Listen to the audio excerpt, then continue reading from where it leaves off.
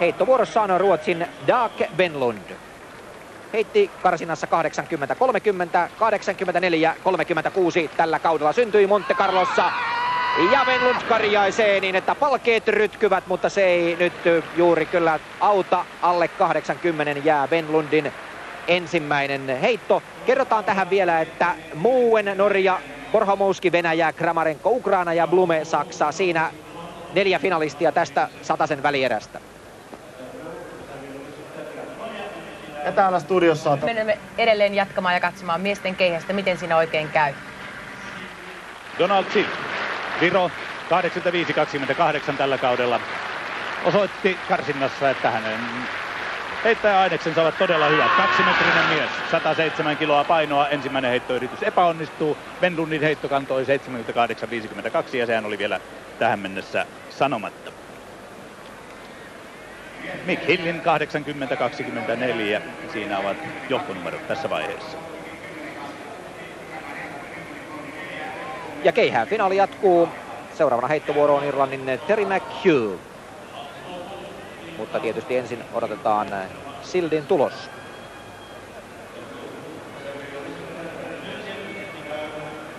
Se 75-38. Ja nyt irlantilais-heittäjä, hän heitti oman ennätyksensä karsinassa 82-14. Ja se on myöskin Irlannin ennätys. Anna Birjukova johtaa edelleen naisten kolmiloikkaa. 20 senttiä maailmanennätyksestä 14.89. Bosanova Bulgaria toinen, Chen Venäjä kolmas, Kravets neljäs. McHugh heitti Stuttgartin MM-kisoissa viime kesänä kymmenenneksi. Ja on pikkuhiljaa siis parannellut omaa ennätystänsä ja 82 metriä on kelpo tulos, jos hän pystyy sen myöskin tässä finaalissa heittämään. Ensimmäinen heittokierros miesten keihään finaalista siis menossa. Ja ääntä löytyy, mutta pituutta ei kuitenkaan löydy. Ihan riittämiin joka tapauksessa lähelle 80 metriä. Terry McHugh heittää. Siellä siis Raymond Head on heittänyt 79-12 ja Doug Benlund 78-52 ja sinne samoille tietämille myöskin McHugh heittää.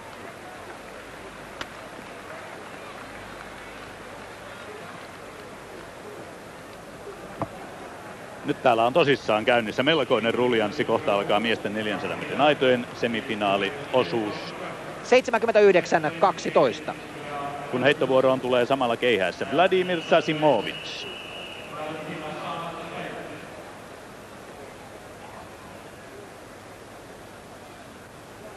Näette, että yleisö on tosiaan lähtöä, kunnes Jan Selesni sittenkin ratkaisee tämän tilanteen meidän kannaltamme mukavasti, eli lähtee ensimmäiseen heittoon. Tämä maailman paras keihään heittäjä Saakaaren tulee keihäs kuitenkin aika nopeasti alas, vain hieman yli 80 metriä. Ei ratkenut keihäskilpa ensimmäisellä, Mick Hill sitä edelleen johtaa 80-24 ja jokseenkin samoissa on nyt sitten Jan Zeletski.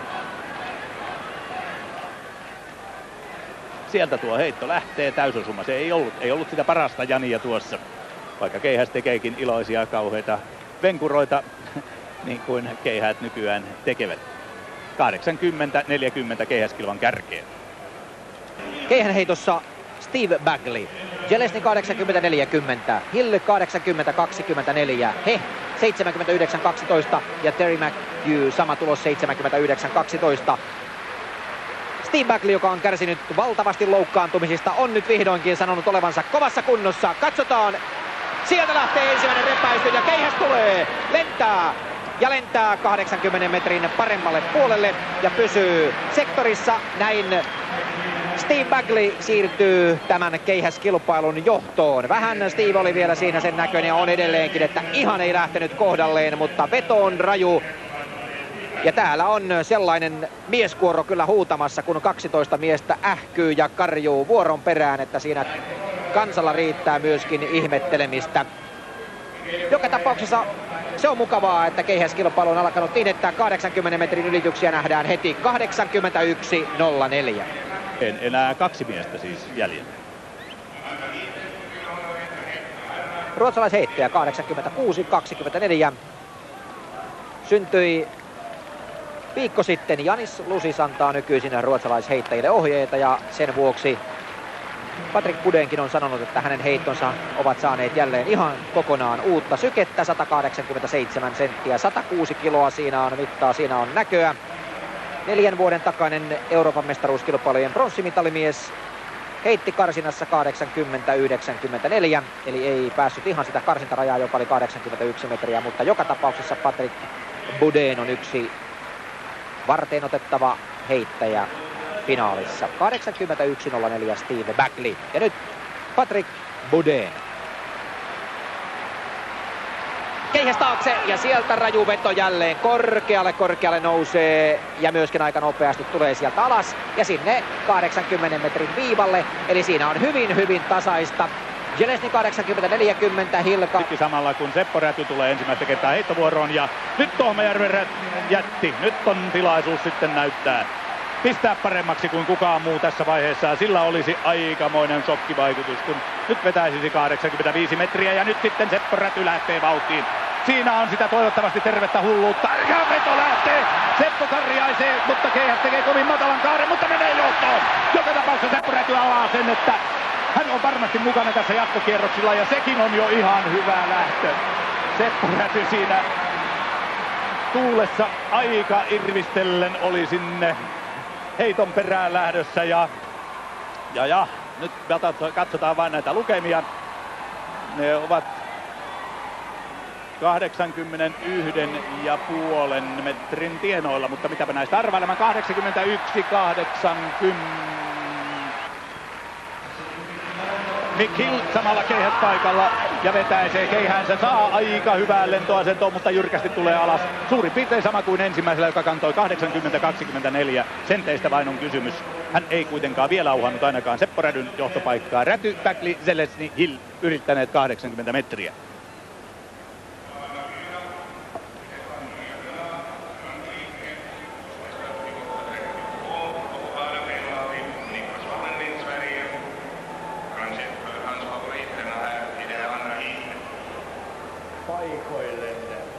Kahdeksaksi paikalle Saksan Raimon Hecht.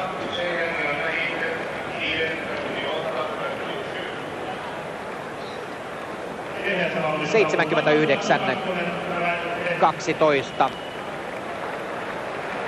Ennätys peräti 90.06, mutta ei ole vielä lähtenyt oikein suurkilpailuissa eikä lähde vielä tälläkään kertaa, vaan heitto jää alle 80 metrin, joten Hecht ei tällä heitollaan missään tapauksessa paranna. Raimon Hecht oli vuoden 87 juniorin maailman Keihäs paikalla ruotsalainen on heittänyt viime aikoina varmasti ja hyvin, mutta stadionin pyörteisessä tuulessa heitot eivät lähde siihen malliin kuin ovat lähteneet aikaisemmin, joten tästä heitosta ei ollut vielä kärkiheitoksi läheskään. Samalla sen voin sanoa kävelystä 15 kilometrin kohdalla. Shennikov Venäjä johdossa, Misjula Valko-Venäjä toisena, Masana Espanja kolmantena ja Italian De Benedicti neljäntenä. Suomalaiset pitivät jälkimmäisiä sijoja 77-60 Penlundin tämä heitto ja hän ei ole jatkanut. Heittovuorossa Donald Sild 75-38. Siinä näkyy Hehtin ja Sasimovitsin tulos, eli kolmelle viimeiselle kierrokselle hän pääsee kahdeksan heittäjää ja siitä voitte sitten katsoa millaiseen tulokseen Sildin pitäisi päästä, jotta hän tässä vaiheessa itsensä hivuttaisi kahdeksan sakkiin. Mitat ovat kyllä tosi komeat. Kaksi metriä ja 107 kiloa, joten vartta kyllä löytyy, mutta se varsinhan ei pelkästään riitä, vaan kaikki osa-alueet pitää olla kunnossa. Se heitto epäonnistuu koko lailla täydellisesti. Yhden heiton varassa tällä miehellä jatkopaikka. Heitti Eurooppa-kapissa Venäjän ennätyksen ensimmäisellä heitollaan tällä keihäällä. Ja siinä Misjula. Kakkonen, kaksi ensimmäistä siinä kaulailee toisiaan. Ja samalla Morujevin heitto epäonnistuu täysin. Sen voi tässä kertoa noin ohimennen. Eli näytät tästä helteestä paljon kärsineen nämä miehet. Ja 128 on Mihail Orlov, Venäjä.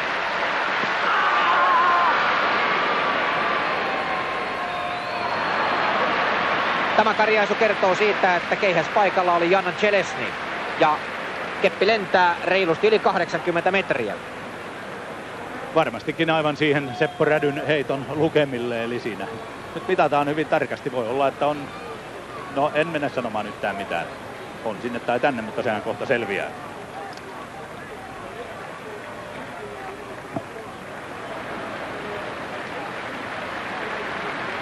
Selesni heittää 82-58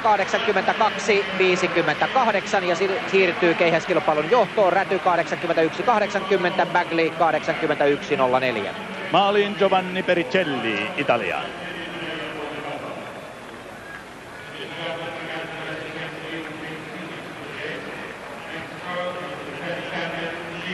Steve Bagleyhan on seuraava heittäjä sitten kun me keihästä toivottavasti saamme kuvaa sopivaan kohtaan, niin katsotaan sitten miten ne miehet onnistuvat, joita me tietysti kaikkein eniten pelkäämme. Yleisökin on mukana. Steve Backleyhän on tavallaan suomalaisten Vävypojaksi ehdolla ja pitkälle heittää, heittää yli 85 metriä. Sen voi kertoa yleisön kohina, sen joka tapauksessa kertoo.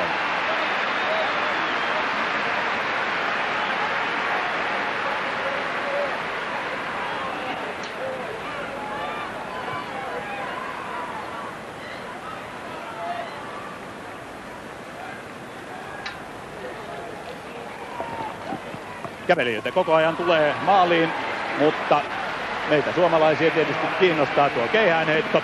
Nyt tässä on tapahtunut jotakin jotakin vähän hankalaa. Backli 85-20. Boris Henry. 76-40.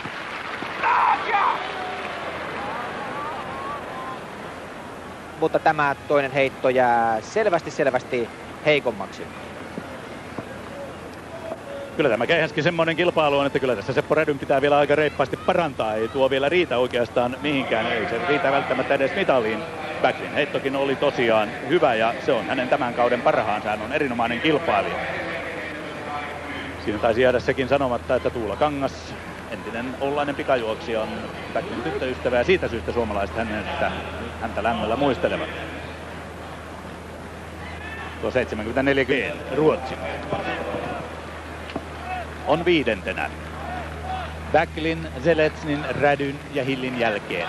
Eli menossa kahdeksan parhaan jatkokierroksille, kuten Irlannin Matthew tässä vaiheessa, Raimond Kek ja Vladimir Sasimovitskin.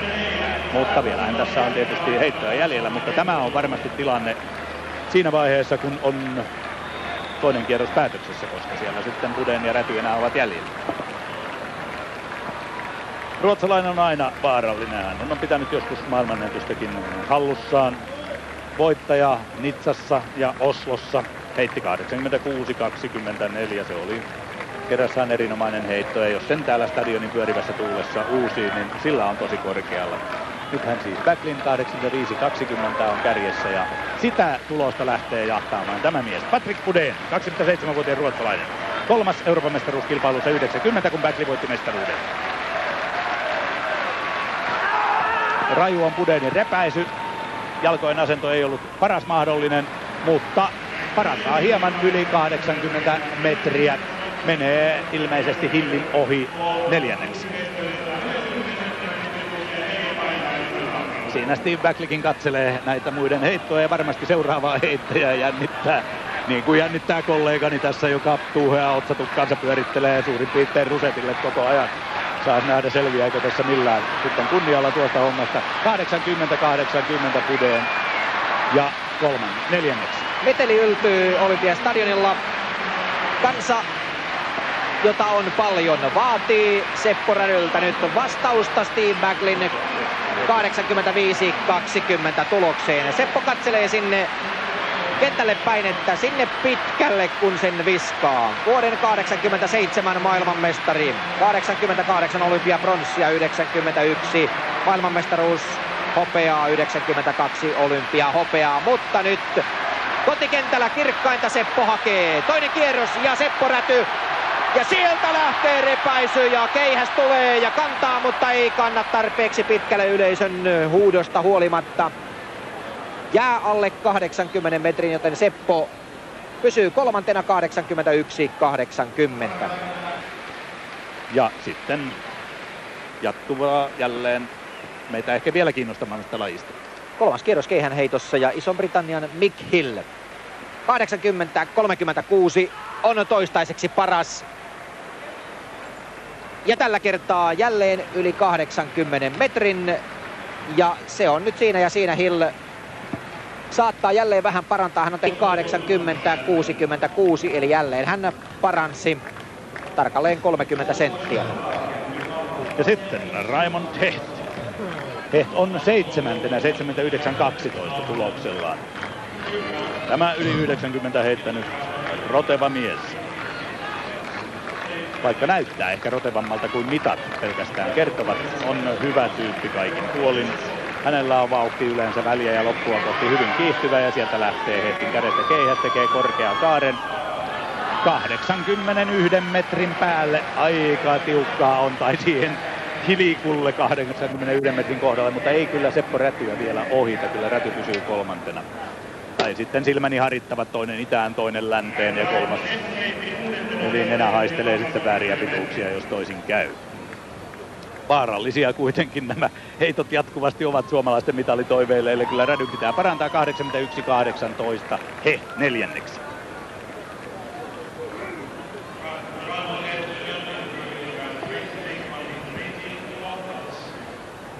Ruotsin Dag Venlund heittää seuraavaksi pusakkaa pois. Venlund ei mahdu kahdeksan sakkiin ja nyt on hänellä totuuden aika 78-52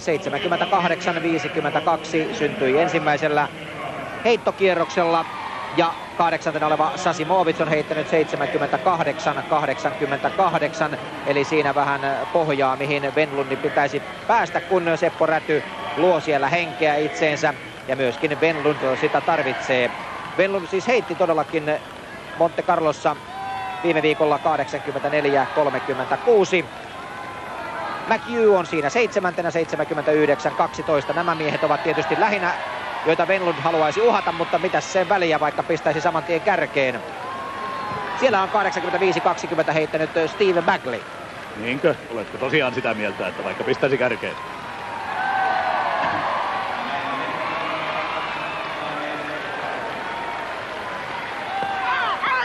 Venlundin kolmannen kierroksen heitto ja se jää niin lyhyeksi, että Doug Venlund on ulkona keihäs finaali kolmelta viimeiseltä kierrokselta.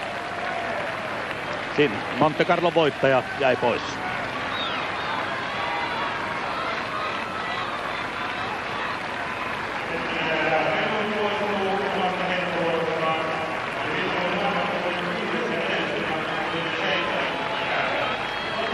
Näin samalla voisi katsoa, että Antero Lindberg, jonka tuossa näimme maaliin tullessa, oli 21. kilpailussa ja omalla ennätysajallaan, joten miestä ei voi ainakaan moittia, kun Jani Lehtinenkin on suurin piirtein näillä tienoilla sitten tulossa maaliin ja nyt ollaan hieman päälle 1.31 matkassa, joten Lehtinen ei yllä omaan ennätykseensä. 75-16 Dark Venlund heitti ja miehestä näki, että tosi pettynyt hän on. Donald Silt on vuorossa. Samalla kun toinenkin suomalainen kävelijä vielä on täällä kentällä näkyvissä, sen voi kertoa. Pauli Pirjetä tulee niin ikään, mutta Donald Silt on saanut vasta 75-38, on 11, eli tässä vaiheessa haarukassa siis Sasimovitsin 78-88, eli alle 79 ei pahasti passaisi jäädä. Sasimovitsillahan on vielä sitten vastausvuoro. Donald Silt. Virolainen ensimmäisessä todella suuressa arvokilpailussaan on tänä kautena parantanut ennätystään lähes viisi metriä.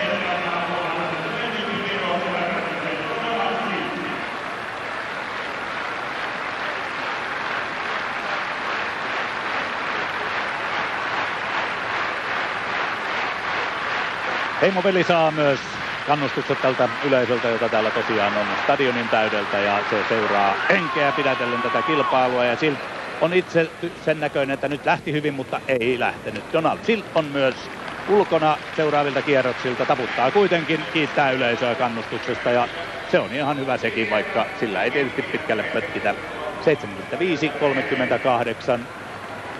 Ja tämä ei ole paljon ajan parantanut ja nyt kävelyssä kaikki suomalaiset maalissa. Järjestys oli Lindman, Lehtinen, Pirjetä. Naisten kolmiloikassa kun siltiin tulos 74-88. Tilanne on se, että siellä hypätään viidettä hyppykierrosta 14 Sasimovits, mies joka on kahdeksantena.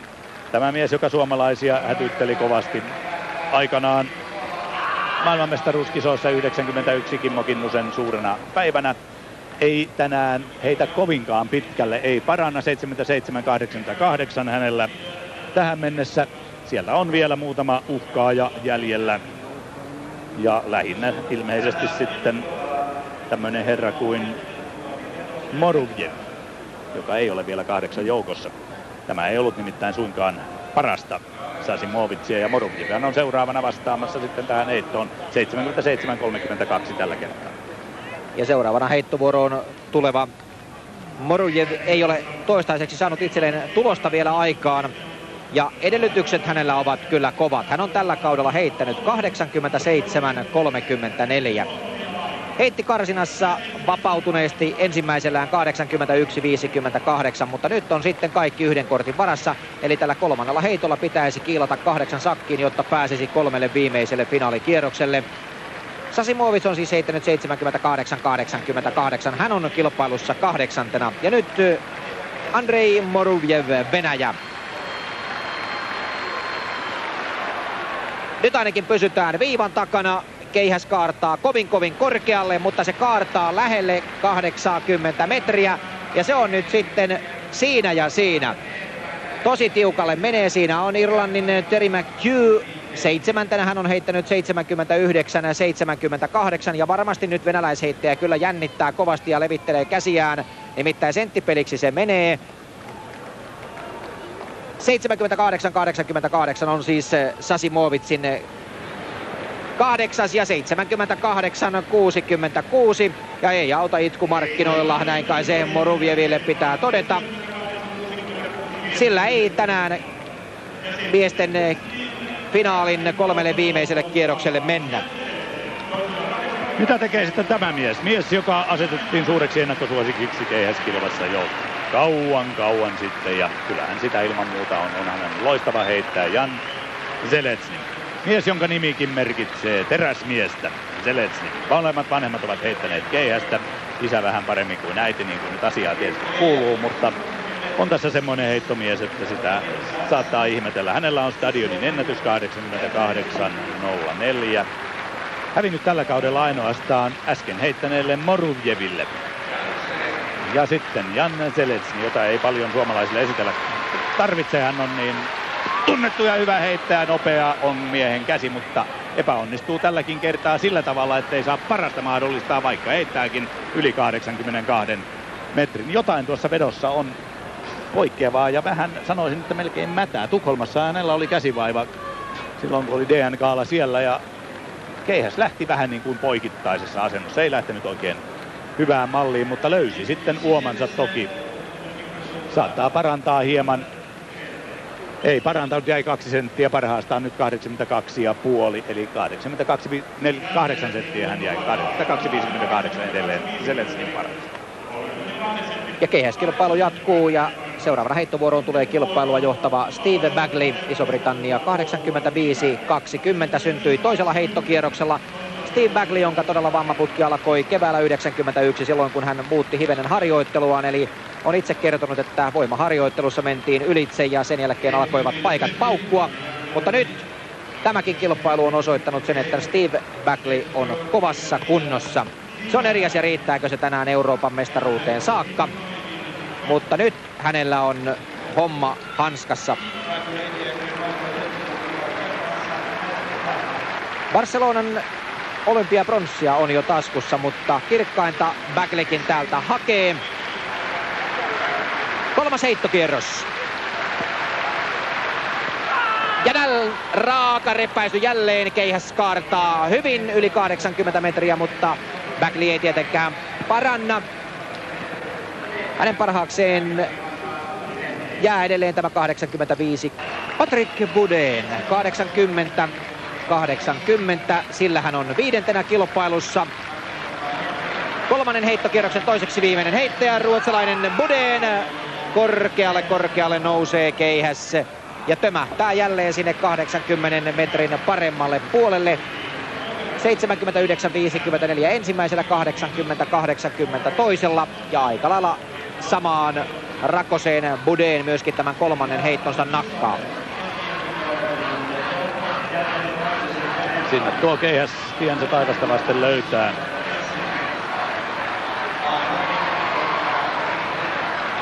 Kahdeksankymmentä, 76 eli neljä senttiä heikompi. Ja sitten yleisö villiintyy jo aivan täysin, nimittäin Seppo Räty astelee vauhtiradan päähän. Finland, Seppo Räty, Tohmajärvi ja nyt katsotaan mikä on Tohmajärven jätin vastaus tässä. Onko tässä sitä siunattua hulluutta, jota keihäs kilvassa on? Sepolta on olkapää leikattu, se on kipeää, sen me tiedämme, mutta Seppo ei sitä valita. Seppo tietää, että nyt heitetään, nyt ei mietitä mitään. Keihäänheitto on taitolaji, mutta kun siihen yhdistetään voimaa, niin silloin pitäisi lentää. Ja nyt Seppo Rädyn kolmas heitto lähtemässä. Seppo silistelee silmiään ja sitten tulee vauhtiradan päähän ja nyt lähtee, keihäs lähtee matalassa asennossa vähän liian matalana ja 80 metrin viivalle tasan. Ei paranna Seppo Räty, on edelleen kolmantena, 81-80 on Sepon paras. Tähän heittää sitten ja Mick Hill ehti heittää neljännen kierroksen heittonsa vajaat 80 metriä, mutta vaarallinen mies, joka on kilpaussa neljäntenä, on seuraava.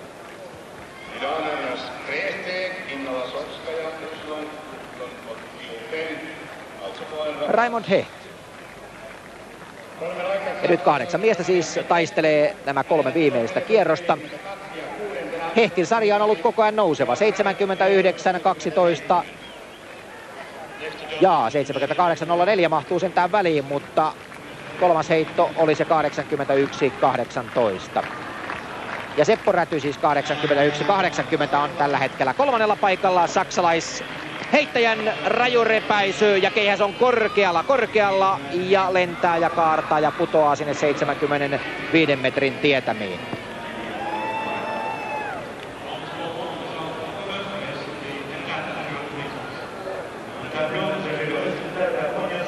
McHugh, Irlanti. Yllätysmies tässä kilpailussa on seitsemäntenä, 79-78.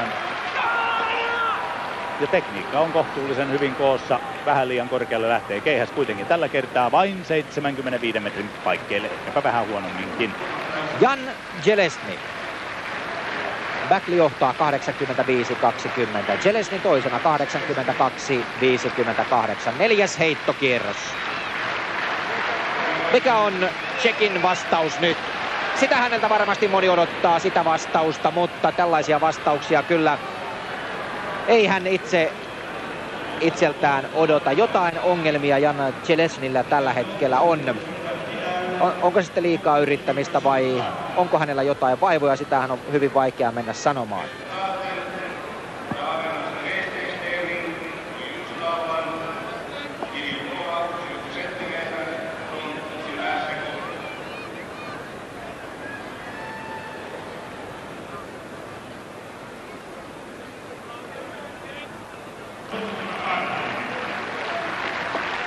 Steve Backley.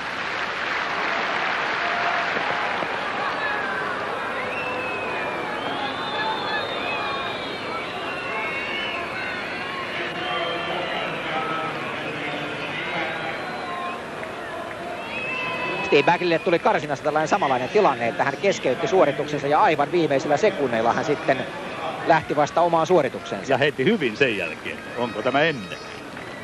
85-20 on Steve Backlin johtoheitto.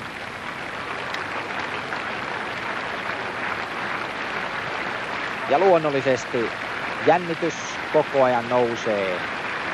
Se naistii Olympiastadionilla, se naistii joka paikassa, kun Backley lähtee heittämään ja sieltä raju repäisy, mutta tällä kertaa myöskin Backlin heitto on huono, eli sellaista selvää hiipumista hänenkin heitoissaan. Nyt on ollut kaikki aikaisemmat heitot ovat olleet yli 80 metriä. Nyt selvästi alle hän astuu sen myös yli. Eli ei paranna, joten haastatteluun jälleen vaarallinen Patrick Pudeen viidentenä 80-80 tasan metrin jäljessä kolmantena olevaa Seppo Rätyä, niin kuin tulokset tuossa teille kertovat. Ja siinä on nyt sitten tiukka paikka. Niin Backlillä kuin varmasti Rädylläkin seurata vierestä. Heitot ovat olleet yleensä tällä neljännellä kierroksella vaisuja ja niin on nytkin alle 80 kantaa Pudenin heitto.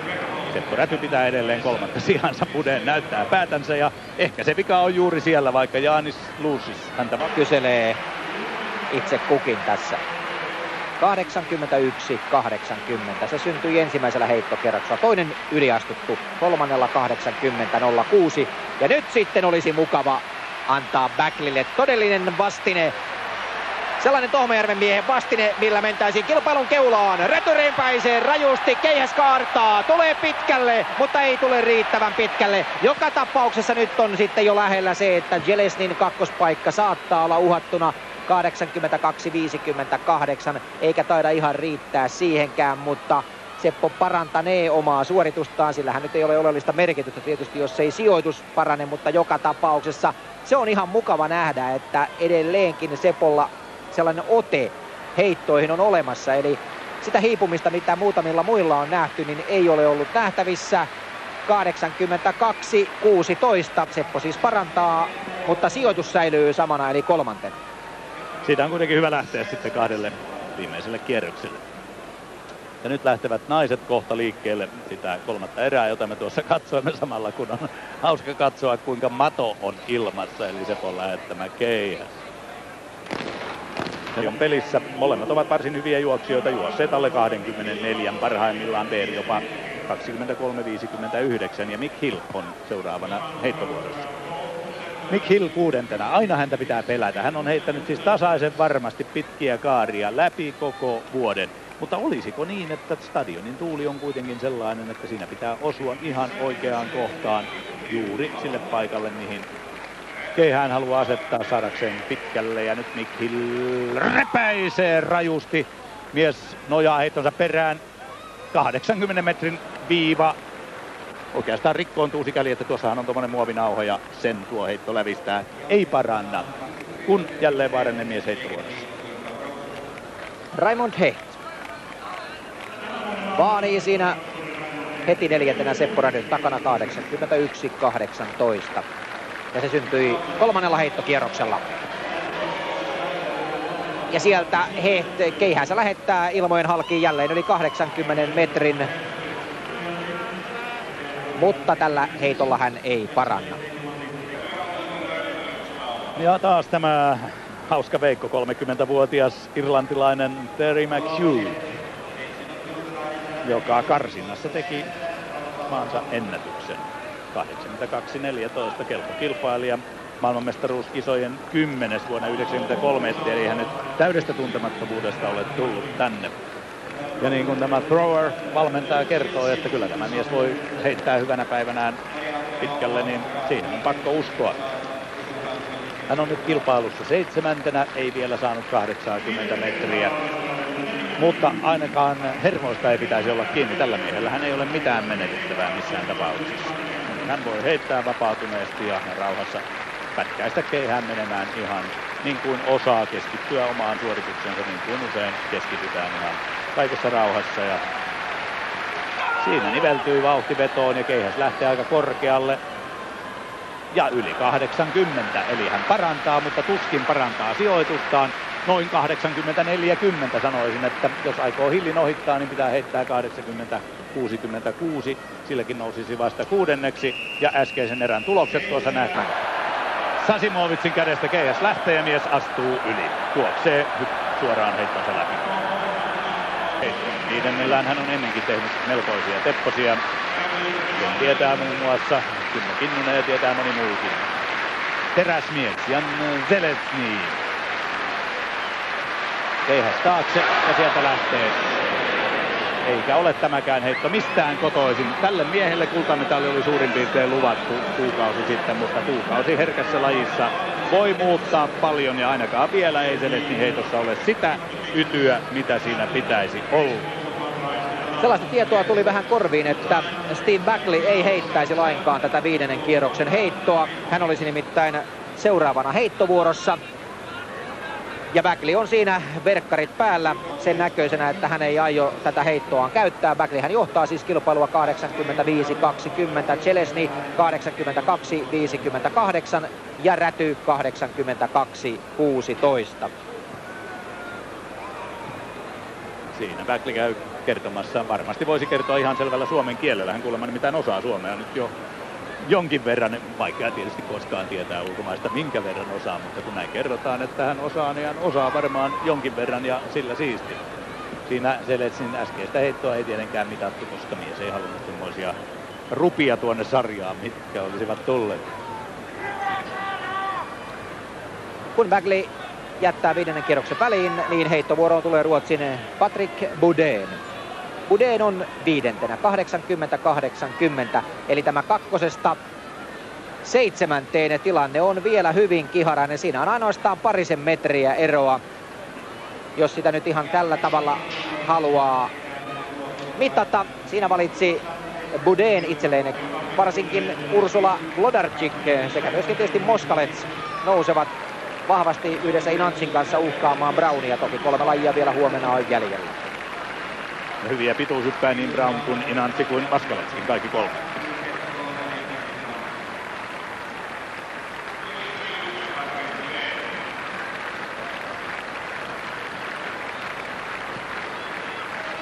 Ja nyt varmasti Patrick Pudeen käy mielessään ohjeita, niitä ohjeita läpi, mitä Janis Lusis, entinen mestariheittäjä, hänelle on jakanut. Niistä olisi nyt paljon hyötyä.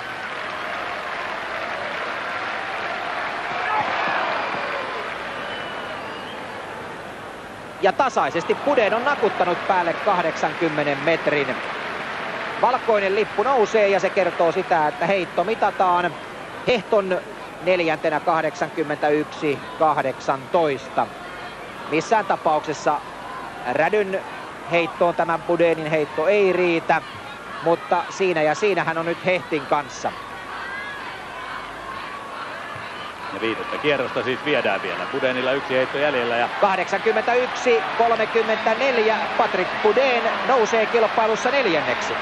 Jaa, ja mitä tekee Seppo Räty seuraavana heittäjänä? Siinä sitä mietitään, kun Buden vielä tässä ihastelee heittoon, että olihan se sentään jotakin, vaikkei niin paljon kuin mies olisi ajatellut. Ja Seppo Räty. Nyt on miehen harteilla ovat aikamoiset paineet. Hän saattaa viimeisillä heitoilla vielä repäistä räjystä. Sen muistamme muun muassa viime vuoden Mikkelistä ja monesta monesta muusta kovasta kilpailusta, maailmanmestaruuskilpailusta Tokiossa ja kaikkea muuta. Eli Sepolla on eväät ja heittää vaikka ja nyt sitten peukut pystyyn ja sitten tulee räjähdys! Ja sieltä lähtee keihäs, lähtee taas kovin matalana, mutta menee pitkälle. Ja nyt on kakkostila aivan siinä ja siinä. Zeletsnin paikka on kyllä uhattuna, tuo on aika lähellä. 83 metriä ja siinä näette kuinka Seppo karriaisee heittonsa perään. Kyllä tässä vähän mitalin maistuu, mutta huomatkaa vähän vasta vielä kokonainen kierros jäljellä. Ja Seppo Räty. Mitä tekee Seppo Räty? Senteissä kerrottuna ja menee kakkoseksi. 82-90. Eli Seppo ohittaa Zeletskin, mutta muistakaa, niin Zeletsnillä kuin monella muullakin vielä heitto jäljellä. Seppo on sitä mieltä, että ei mennyt. Siinä mies on itselleen vihainen ja sekin tietää toisaalta hyvää. Seppo Räty kakkosena, 82-90. Toivoa on vielä taivas täynnä, mutta Steve Backleyn on kuitenkin pelottavasti vielä matkaa jäljellä. Hill on myös niin kova kilpailija, että hänkin saattaa vielä lusikkansa heittää tuohon vitalisoppaan ihan hyvin. Hillin heitto lähtee pelottavan pitkän menevän näköisenä, mutta nous sitten tulee alas kuin tikka. Hyvän näköinen oli lähtö. Hill ei ole kuitenkaan tänään mitalilla. Se selvisi nyt tässä saman tien tämän viimeisen heiton aikana. Hänelle jää parhaaksi 80-66. Tällä hetkellä sijoitus kuudes. Ja se ei varmasti Hillin mielestä ole kyllä paljon mitään. Siellä sekä Steve Bagley että Seppo Räty. Vielä varsin rauhallisena liuskelevat. Seppo ottaa siinä vielä katselee askel, askelmerkit kuntoon ja tällä tavalla vielä vähän psyykataan backliä, että siirretäänpäs pikkaisen, kun eivät oikein ole olleet kohdallaan. Vasta on mennyt 82-90. Raimon Heht tulee seuraavana heittovuoroon. Vielä tässä heittäjiä on paljon jäljellä. Ja näillä kaikilla heittäjillä pitää muistaa, se on potentiaalia heittää pitkälle. Heht viidentenä 81-18. On se hirveätä hermopeliä tämä leikki kuitenkin. Siis täällä ainakin seurata, en tiedä kuinka heittäjillä itsellään. Siinä on mies, jolla 90 luissaan niin kuin se on Seppo Rädylläkin. Ja sitten puhumattakaan. Ja nyt on Hehtikin sitten eh, aika koittanut kuudes heittokierros menossa. Löytyykö sieltä vastausta vielä jäntereistä? Korkealle nousee keihäs ja putoaa sinne 80 metrin paremmalle puolelle. Ja kun Hehtin paras on ollut 81-18, niin hän ei pysty tällä viimeisellä heitollaan parantamaan. Tämä alkaa nyt olla taas tätä samaa, samaa leikkiä, mitä monta kertaa olemme leikkineet ennenkin, että tässä vähän niin kuin toivoo, että ei nyt menisi ihan hirveän pitkälle heitot, kunnes sitten tulee Seppo Räty viimeisenä heittäjänä, silloin me taas toivomme, että se menisi oikein hirveän pitkälle. 81-06. Hehton tosi pettynyt omaan suoritukseensa. Hänen parhaakseen jää siis 81-18 ja tässä vaiheessa hän on kilpailussa viidentenä. Eurooppa Cupissa oli mies kakkosena. Ei oikein ole arvokisoissa vielä ollut sellainen mies kuin voisi olettaa. Mutta uusi mies keihäs kädessään. Terry McHugh 82-14 heittänyt maansa ennätykseksi. Jos hän aikoo mitalille, hänen pitää parantaa ennätystään. Mutta kerran kun sitä mies suurkilpailuissa syttyy ja nuo kolmen miehen nimet tuolla näkyvät ja me Suomeen ihan mielellämme, että ne näkyvät siellä vaikkapa loppuun saakka. Katsomme järjestystä vielä mielellämme, jos se siitä johonkin suuntaan muuttuu. Toivottavasti suomalaisista vielä kauniimmaksi, niin mikä sen parempi, mutta aika hyvin siihen pitäisi heittää.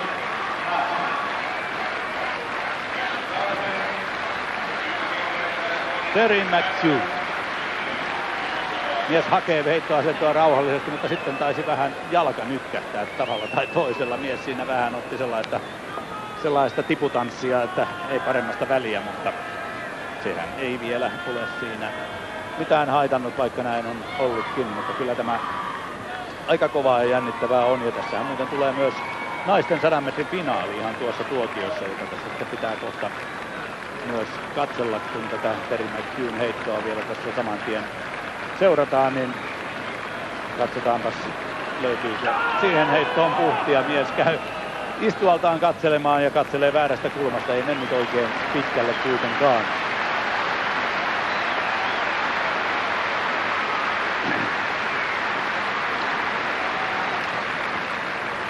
löydätkö sinä sinne omaan ruutuun sitten tuon keihään tilanteen, kun täytyy vähitellen katsoa, kun ei ole tullut paperilla tuota ratajärjestystä, niin näitä naisten, naisten finaalin järjestyksiä tässä saman tien.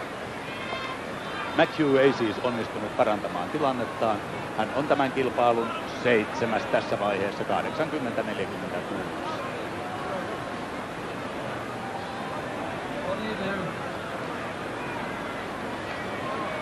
Viisi heittäjää jäljellä.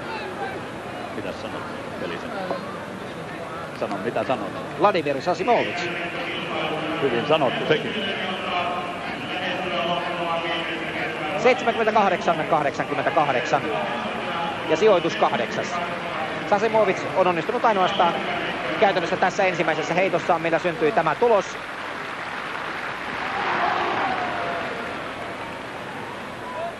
eikä lähde nytkään sillä tavalla, että hän parantaisi näin valko heittäjän tulokseksi jää tämä 78-88 ja keihäs kilpailun sijoitukseksi myös kahdeksas. Anna kolmonen siis 91 juniorien maailmanmestari aikanaan.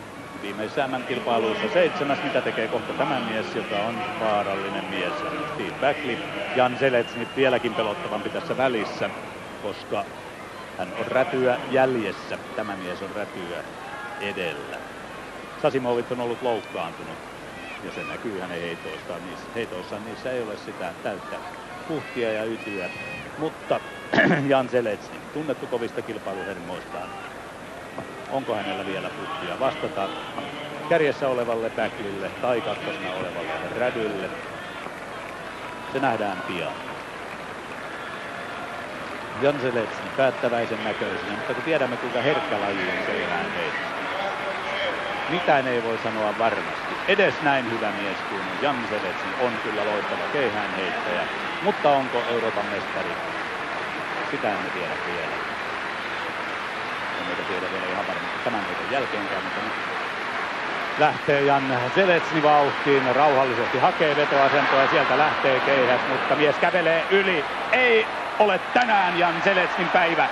Jan Zeletsni ei ole Seppo Rätyä edellä tämän päivän kilpailussa ja sitähän me suomalaiset tässä olemme hakeneet. Ja se on, sanoisin, melkoinen jätti yllätys. Se on ilman muuta suuri yllätys, koska kyllä pitkin kautta on käytännössä puhuttu vain siitä, että Jelesni ottaa omansa ja sen jälkeen jaetaan murusia muille. Siinä myöskin Steven Bagley huokaili vieressä ja katseli ja Seppo etsii vielä sieltä viimeisillä hieronolla korvan takaa sellaista otetta, että löytyisi se oikea paikka, miten heitto lähtee. Ja nyt on jo selvää, että Seppo Räty on mitalimies tänään. Koska Budeen on ainoa, joka voi hänet ohittaa. Bagleyhän on edellä jo tätä ennen. Ja Steve Bagley on nyt sitten seuraavana heittovuorossa. 85-20 on tämän hetken johtoheitto. Steve Backlin sarja 81-04, 85-20, 81-74 ja viides heitto väliin on tämä kova heittomies tämä Steve Backley, siitä ei pääse mihinkään. On rautahermoinen, niin kuin Euroopan mestaruuden puolustajalle kuuluukin. Löytyykö viimeisestä heitosta vielä sitten lisää ytyä ja näyttöä Budenille ja Rädylle? Raju repäisy, Keijäs nousee korkealle ja putoaa aivan 80 metrin viivan tuntumaan, joten Steve Backley ei tällä paranna, mutta hänellä on Euroopan mestaruus nyt haarukassa. Kaksi heittäjää on vielä jäljellä ja tietysti molemmat heistä voivat vielä ajaa Backlin ohi. Hienoa kuitenkin, että Suomen mitalitili on joka tapauksessa auennut. Se on varma asia ja siitä on tietysti hyvä lähteä. Kun välillä olivat vaiheet sen näköiset, että ei tiennyt, että tuleeko yhtään mitään, mutta nyt sentään Seppo Räty näytti, että Tohmajärveltä löytyy rajua voimaa, löytyy ytyä ja löytyy mitalin nälkää vieläkin. Hän on ainoa mies, joka olkapääleikkauksen jälkeen on palannut maailman huipulle, muistakaa se. Mutta mitä tekee Patrick Boudin? Hän saattaa uhata vielä. Seppo Rätyä saattaa uhata tietysti Steve Backleyäkin, Jan lähin, jota voi uhata 81-34 tähän mennessä. Ja siitä ei ole pitkä matka näihin edellisiin. Ja pitää muistaa, että Puden heitti ainoastaan noin viikko sitten 86-24. Juuri näin. Nitsassa ja Oslossa ykkönen GP-kisoissa ja Jan, Janis Lusis on hänen, hänen tuota valmentajansa ja Lusis tietää mikä on henkisen varmuuden, henkisen homman ote Kudenilta on leikattu molemmat polvet monta kertaa. Heittokäden olkapää kaksi kertaa operoitu. Ja nyt, nyt katsotaan mikä on tilanne. Patrick Puden. Mikä on Suomen mitalin väri? Se saattaa ratketa tässäkin.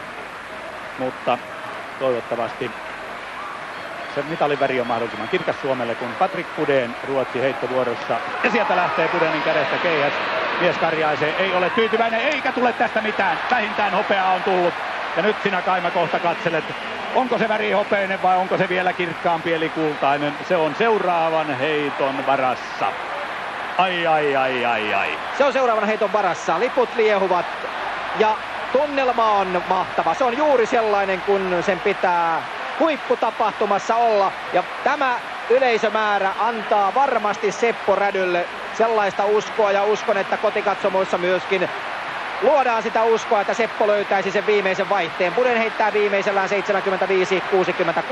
ja sillä ei ole hänen kannaltaan mitään merkitystä 81-34 Budenille ja se on neljäs tila tässä kilpailussa. Eli mitallia ei Patrick Budenille tule niin kuin tuli neljä vuotta sitten, mutta nyt Seppo Räty on sitten hakemassa ottaa varmasti hopeaa. Se on aivan varma juttu, mutta sieltä on korvantaukset hierottu. Askelmerkit on katsottu uudelleen. 82-90 ennen tätä ja toivottavasti taulussa on tämän jälkeen lukema, joka alkaa mieluummin 86, jolloin se tietäisi sitä, että Seppo olisi viimeisellään täräyttänyt. Bagley katsoi edessä McHugh kanssa ja nyt lähtee. Tässä ratkeaa. Tuleeko Suomeen Euroopan mestaruus? Kultaa vai hopeaa? Hirmuinen repäisy, mutta ei taida riittää. Eikä riitä. Steve Bagley voittaa Euroopan mestaruuden tuloksella 85-20. Seppo Räty on kilpailut hienosti. Hänellä on ollut koko kauden suuria vaikeuksia. Suomen mestaruuskilpailussa vasta yhdeksäs yhdessä vaiheessa näytti siltä, että mitään ei tule. Nyt 82-90 ja Euroopan mestaruus hopeaa. Seppo liittää tämän entisten mitalien kokoelmaan. Vuoden 87 maailmanmestari, 88 olympia pronssimitalimies, 91 maailmanmestaruus hopeaa, 92 olympia hopeaa. Ja vahva paluu, mutta tämä mies on tämän kilpailun sankari Steve Bagley ja täytyy rehellisesti sanoa, että kyllä hänelle suo tämän menestyksen.